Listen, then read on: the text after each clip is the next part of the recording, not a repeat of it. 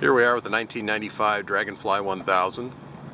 The owner's going to go through the process of opening the amas.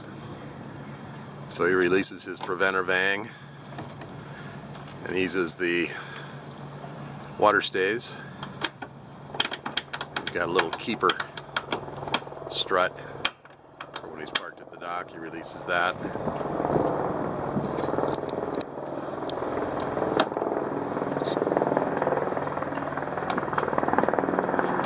Little nudge, pop it loose. There he goes. So now he pulls his two lines out to deploy and it shows amas in, amas out. Winch handle. Now he's got to put his backstay, loosen that up.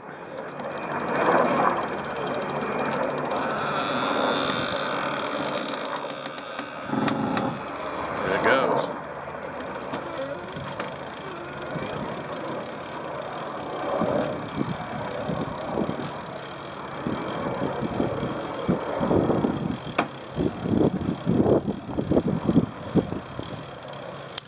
You notice the tramps on this boat are uh, mesh. He put these on to lighten it up.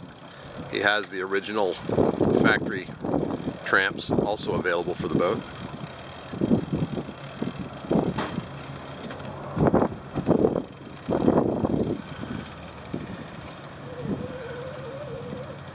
There we are.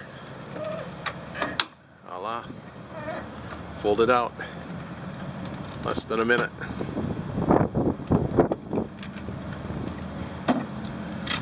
So effortless, simple. Lines get kind of restuffed in their little pocket right in the uh, coaming. Kind of pulled backwards so they're ready for the next time he wants to pull them in.